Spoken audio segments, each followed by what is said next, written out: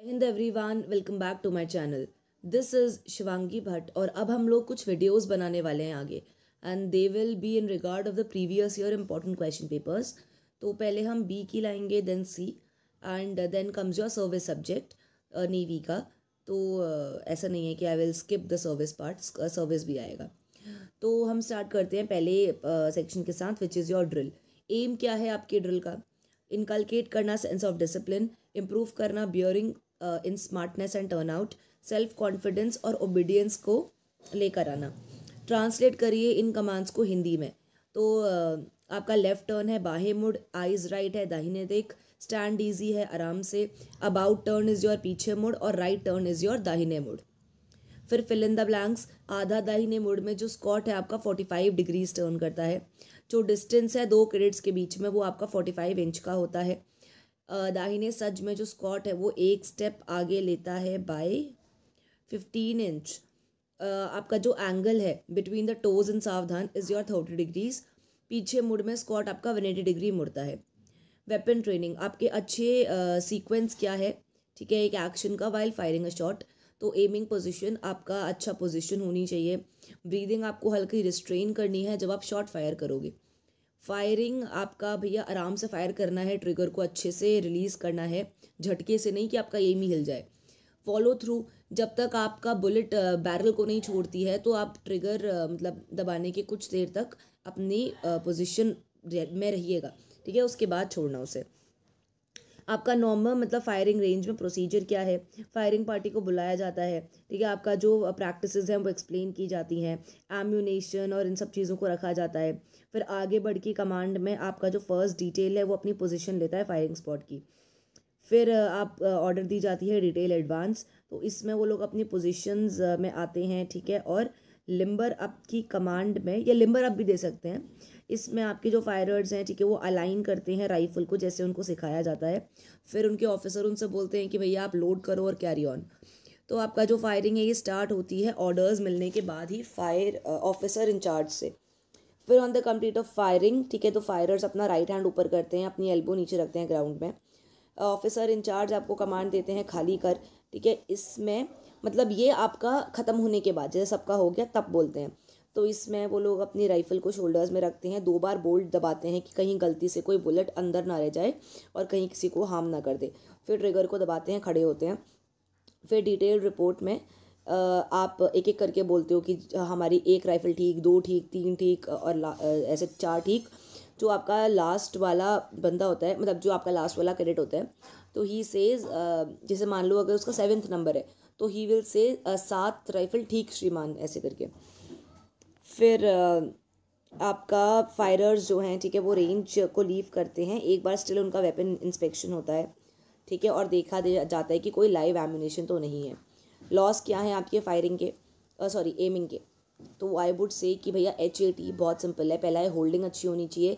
ए से आपका है एमिंग और टी से है ट्रिगर ऑपरेशन तो इसमें भी यही लिख रखा है, थोड़ा एक्सपैंडेड है।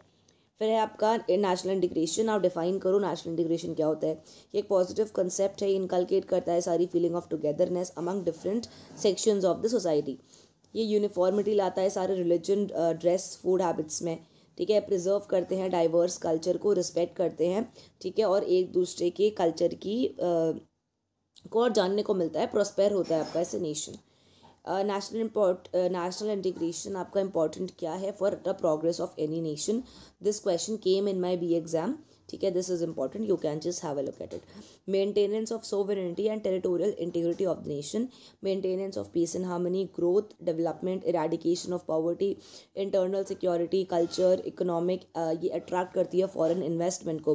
Dignity and self respect welfare and well being of a nation foreign relations और better standing among the nation of the world आपके मेजर इंडियन रिलीजन्स क्या हैं और परसेंटेज कितनी है? तो आपके हिंदूज़ एटी थ्री परसेंट में हैं मुस्लिम्स आयो ten percent Christians two percent Sikh one point seven nine Buddhist zero point seven four percent Jain है आपके ज़ीरो पॉइंट फोर सिक्स और अदर्स मतलब और जितने रिलीजन बच गए हैं they are your zero point three seven right true and false आपका जो पॉलिसी है, सुखे कुल की। वो अडॉप्ट किया गया था अकबर के द्वारा हाँ।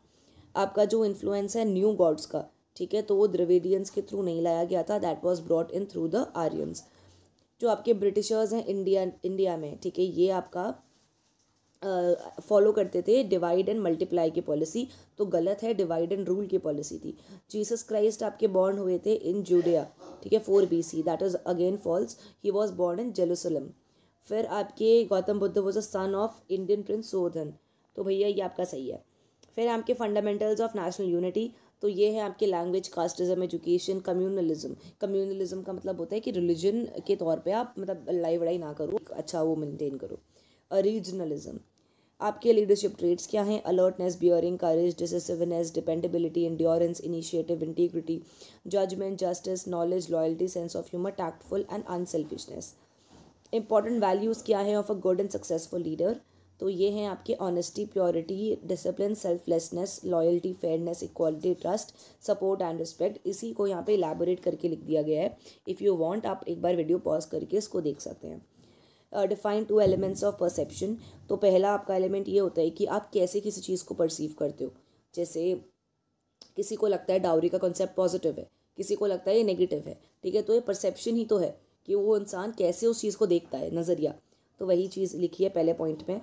अगले पॉइंट में ये चीज़ लिखी गई है कि आप एक लॉजिकल मैनर से उस चीज़ को असेस करो ताकि आप उन जो सिचुएशंस में एक पॉसिबल मीनिंग ऐड कर सको। फिर आपका आता है दो एलिमेंट्स बताइए परसेप्शन के। ये दिस क्वेश्चन रिपीटेड फिर है आपके लीडर कौन है? A leader is one who influence man and material to win the goal आपके टाइप्स ऑफ़ लीडर कौन से कौन से हैं? बॉन्ड लीडर ट्रेंड लीडर ट्रेंड की स्पेलिंग गलत लिखी है यहाँ पे? T R A I N E D assumed leader duty को डिफाइन करो। ड्यूटी आपका एक मॉरल और लीगल ऑब्लिगेशन है, एक बाइंडिंग फोर्स है, ठीक है, जो आपको बांधती है किसी चीज़ में और एक गुड बिहेवियर की तरफ़ आपको मोटिवेट करती है, जो आप अपने सुपीरियर कलीग्स और सबॉर्डिनेट्स के साथ मेंटेन करते हैं। डिज़ास्टर मैनेजमेंट डिफाइन करें डिज़ास्टर को। तो ये कोई और नेचुरल या मैन मेड इवेंट है जो बहुत मिजरी लेकर आता है एक रीजन में और लोगों लोगों में और मतलब बहुत डिफ़िकल्ट हो जाता है लोकल रिसोर्स में इसे कोप करना। तो दो टाइप के आपके डिज़ास्टर्स हैं नेचुरल एंड मैन मेड ये क्वेश्चन भी आया था मेरे एग्ज़ाम में जस्ट सी दिस क्वेश्चन ठीक है? विंड रिलेटेड है आपका storm cyclone tornado tidal waves water related है आपका flood cloud burst flash flood excessive rain और ड्राउट अर्थ रिलेटेड आपका आता है earthquake tsunami landslide volcanic eruptions man made disaster कौन से हैं? एक्सीडेंट्स किसी भी थ्रू हो, वो आपका रोड के थ्रू रेल के थ्रू सी ठीक है, या बिल्डिंग गिर जाए इंडस्ट्रियल मिशैप्स गैस लीक होना एक्सप्लोजन होना, ठीक है, फिर आपका आता है फायर बिल्डिंग में लग जाना कोल ऑयल इन इनमें आपका फायर ठीक है फॉरेस्ट फायर भैया देखो, इंसानों की करतूत होती है ये, ठीक है, कहीं पे एक जगह आग लगाई, ठीक है, पूरे फॉरेस्ट में फैल गई. कंटामिनेशन या पॉइजनिंग ठीक है, जैसे आपने किसी चीज़ को मारने के लिए, ठीक है, आपने भैया पॉइजन कर दिया, या फिर इंडस्ट्री में जो आपका वेस्ट रिलीज़ होता है, ठीक है, उससे पॉइजन हो गया. टेररिस्ट एक्टिविटी इकोलॉजिकल मतलब आपका पोल्यूशन लॉस ऑफ़ बायोडाइवर्सिटी ठीक है ये सब चीज़ें। वॉरफेयर ठीक है कि आप कौन सा लड़ाई करते हो जैसे world war one world war two ठीक है ये भी तो इंसानों की करतूत है। ठीक है जैसे कन्वेक्शनल है केमिकल है न्यूक्लियर है किस कितना बड़ा मतलब आपका युद्ध है वो डिपेंड करता है। फिर आपका आता है सर्विस सोशल सर्विस आपके अलग अलग टाइप्स ऑफ़ सोशल सर्विसेज़ क्या हैं ठीक है तो uh, मतलब सोशल ईवल्स क्या हैं ठीक है सर्विस आई गेस गलत लिखा हुआ है यहाँ पे। तो that is your education family welfare medical care family planning nutrition old age support support system employment social assistance housing and rehabilitation recreation sports and social activities what are the various arguments in favour of reservation policy ठीक है, ये भी important question है, इसको देख लेना। Social diversity देखो, आप uh, क्या दे सकते हो रिजर्वेशन पॉलिसी के फेवर में? कि भैया कुछ आपके ग्रुप्स थे, ठीक है, जिनको पहले दबा दिया गया था, ठीक है तो उनका आप आगे उनको मतलब उनको आगे और अच्छी अपॉर्चुनिटीज़ मिलें। आप हिडन टैलेंट निकाल सकते हो सोसाइटी का इससे बाहर। हार्डशिप जो है, ठीक है जो जनरल कैटेगरी के साथ ही अगर आप उनको मिला दोगे, क्योंकि उनका इतना टाइम से एक्सप्लाइटेशन होता आया है है ना? तो अचानक से आपने जनरल के साथ मिला दिया तो वो कम्पीट नहीं कर पाएँगे। ठीक है, फिर है आपका वेरियस पॉइंट्स क्या है अगेंस्ट द रिजर्वेशन पॉलिसी तो आप इसमें बोल सकते हो कि इकोनॉमिक कंडीशन है, ये क्राइटेरिया होना चाहिए आपका on the basis of reservation जैसे कि जैसे मान लो कि कोई एस सी या एस टी या ओ बी सी है, ठीक है बट वो आपका बहुत अमीर है तो उसके लिए क्यों हो? है ना? तो मतलब इसमें आप ये बोल सकते हो कि उनके लिए क्यों हो आपका ये रिजर्वेशन तो इंस्टेड अगर मान लो कोई ऐसा है, ठीक है पर्सन जो आपका गरीब है अब वो कोई भी कास्ट को बिलोंग करे वो S C S T O B C हो या जनरल हो ठीक है? लेकिन उसके पास रिसोर्सेज ही नहीं है तो उस केस में तो आप उनके लिए आ, मतलब कोटा आप या उनको रिजर्वेशन आप प्रोवाइड करो ठीक है? तो ये आप बोल सकते हो इकोनॉमिक कंडीशन अगला बोल सकते हो जी आपका कास्ट सिस्टम इससे अलाइव होता है। है ना? आप ज़िंदा कर रहे हो कास्ट सिस्टम को कि आप इससे कास्ट के बेसिस में ही आप बना दे रहे हो कि भैया एक एस का ग्रुप है, एक एस का ग्रुप है, ठीक है? एक ओ का ग्रुप है, ठीक है? ऐसे करके आप क्या करो? सोशल ईवल को एक तरह से ज़िंदा ही रख रहे हो ना? तो ये चीज़ें हो गई फिर बाकी आप एक बार इनको रीड कर सकते हो छोटी छोटी चीज़ें हैं ये, है ना? इसी के अंदर इंक्लूडेड है। फैमिली प्लानिंग क्या है? भैया वॉल्ट्री ठीक है? रिस्पॉन्सिबल डिसीज़न जो इंडिविजुअल और कपल्स बनाते हैं अपना डिज़ायर्ड फैमिली साइज़ और टाइमिंग ऑफ़ बर्थ को बताने के लिए।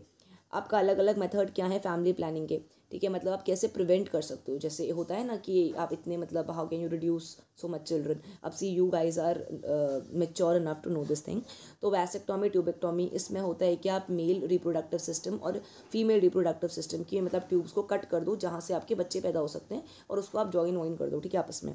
फिर आपका आता है contraceptive like condoms and diaphragms ठीक है ऑरल पिल्स ठीक है तो ये आपका हो गया कि आप वैसे ले रहे हो, आपका परमानेंट नहीं है टेम्प्रेरी है। डिफाइन एच आई वी तो ह्यूमन इम्यूनो डिफिशेंसी वायरस एक ऐसा वायरस है जो डिस्ट्रॉय करता है बॉडी के इम्यून सिस्टम को। ये क्वेश्चन तो बहुत बार आपसे मतलब मुझसे पूछा गया था। जब मेरा वो था बेस्ट क्रेडिट का कंपटीशन था तो वाइवा में पूछा गया था बहुत बार। अलग अलग कॉलेजेस में पूछा गया था। तो H I V is important ठीक है? मतलब डेफिनेशन याद रखना। हाइजीन एंड सैनिटेशन हाइजीन क्या है? हाइजीन एक ऐसा साइंस है जो डील करता है with the principles of promoting health अच्छी हेल्थ को प्रमोट करना ठीक है पर्सनल और पब्लिक हाइजीन को मेंटेन करना। सैनिटेशन क्या है? सैनिटेशन वो आर्ट है जिससे आप अपने सराउंडिंग्स को नीट एंड क्लीन रख सकते हो। ठीक है पर्सनल हाइजीन क्या है? Cleanness of hair body skin nails clothes and teeth आप प्योरीफाई कैसे कर सकते हो? वाटर को important question this was ask in my B exam sedimentation filtration sterilisation chlorination and boiling types of latrines क्या हैं ठीक है तो भैया water carriage system aqua privy removal system deep trench latrine shallow trench latrine ठीक है आपका preventive measures क्या है मलेरिया के लिए तो आप डीडीटी स्प्रे यूज़ कर सकते हो मॉस्किटो नेट मॉस्किटो रिपेलेंट ठीक है अवॉइड करो कि आप जो स्टैगनेंट है ना जमा हो जाता है पानी एक जगह पे तो वो ऐसा ना जमा हो और अगर हो गया जमा ठीक है तो उसमें आप केरोसिन ऑयल डाल दो जिससे उसके अंदर कुछ पनपे ना ठीक है मच्छर अच्छर ये वो फिर फुली कवर्ड ड्रेसेस पहनो, ठीक है? ये नहीं कि ऐसी नाच रहे हो। फिर आपका आता है एडवेंचर एक्टिविटीज़ आपकी various land based based adventure activities क्या हैं? तो mountaineering mountaineering expeditions all India treks ठीक है? साइकिल एंड मोटरसाइकिल एक्सपेडिशन आप क्या समझते हो एडवेंचर ट्रेनिंग से? तो जो ट्रेनिंग दी जाती है कैडेट्स को इन इन मतलब इम्प्रूव करने के लिए लीडरशिप की क्वालिटी सेल्फ कॉन्फिडेंस डिटर्मिनेशन ठीक है? और फीलिंग्स ऑफ़ टीम स्पिरिट तो ये आपका एडवेंचर ट्रेनिंग है। फिर आपका आता है environment and ecology greenhouse effect क्या है? तो सिंपल है यार, ठीक है? ये बचपन सिक्स क्लास से बता, बताता, बताते आए हैं, ठीक है, आपके टीचर्स आपको, कि आपका जैसे जो अर्थ है, यहाँ पे क्लोरोफ्लोरोकार्बन्स आपके ज़्यादा जमा हो जाते हैं। जो आपके रेफ्रिजरेटर की गैस होती है एसी की गैस होती है, इससे, ठीक है? ये आपके जमा हो जाते हैं, ठीक है? ये क्या होता है, भैया, बाहर तो निकल नहीं पाते हैं ट्रैप हो जाते हैं, ठीक है? और लेकिन बाहर से और आ जाते हैं मतलब I hope you are getting it ठीक है कि मतलब बाहर से अंदर आ जाते हैं, लेकिन वो जमा हो जाते हैं, अंदर से बाहर नहीं जा पाते अर्थ के एयर से, क्योंकि आपका ओजोन उसको फिक्स कर दिया तो फिर आपका इससे ग्लोबल वार्मिंग पैदा होती है। कैसे? क्योंकि भैया अब इतनी सारी गैसेस अंदर अंदर आ गई हैं, बाहर नहीं जा पा रही हैं। ठीक है तो वो गर्मी पैदा करती हैं।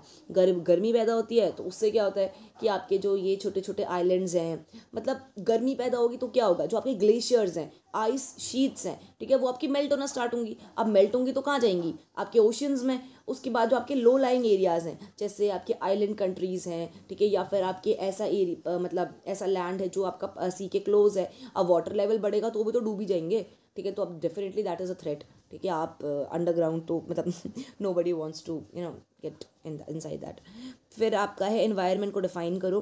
कंडीशन जिसमें आपका ऑर्गेनिज्म एग्जिस्ट करता है, वो उसका इन्वायरमेंट बनाता है। इफ़ेक्ट क्या है? इन्वायरमेंट डिग्रेडेशन के global warming acid rain depletion of ozone layer आपका रोल क्या है? एनसी कैडेट्स का टुवर्ड्स इन्वायरमेंट डिग्रेडेशन मतलब क्या कर सकते हैं? कैसे एनसी कैडेट्स कॉन्ट्रीब्यूट कर सकते हैं? Tree plantation guide and motivate करना फैमिली को टू कंट्रोल इन्वायरमेंट डिग्रेडेशन ठीक है?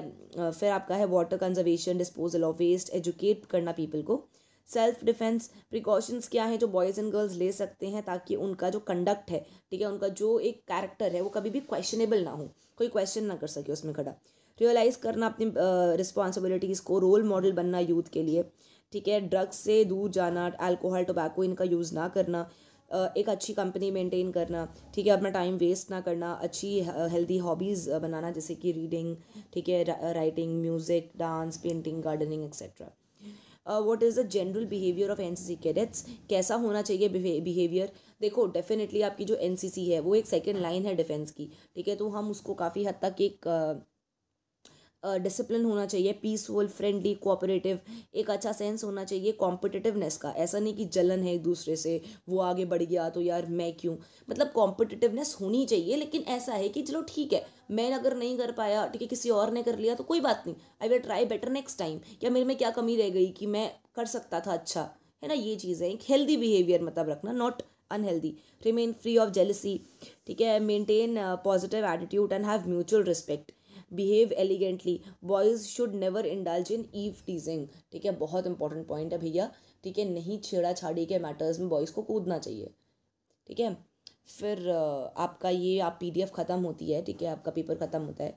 I hope that you learn something good इस पेपर को अच्छे से करके जाना। ठीक है? क्वेश्चंस आ जाते हैं बहुत बार प्रीवियस ईयर के पेपर से भी। और बाकी तो मैंने कवर कर ही दिया है। ठीक है? Including the mock test mock test में भी अच्छा खासा चंक कवर हो गया है। और अभी एक दो हम और ले आएँगे पेपर्स तो उससे आपकी हेल्प हो जाएगी। एंड ठीक है थैंक यू ठीक है, मिलते हैं नेक्स्ट वीडियो में। Till then take care Jai Hind.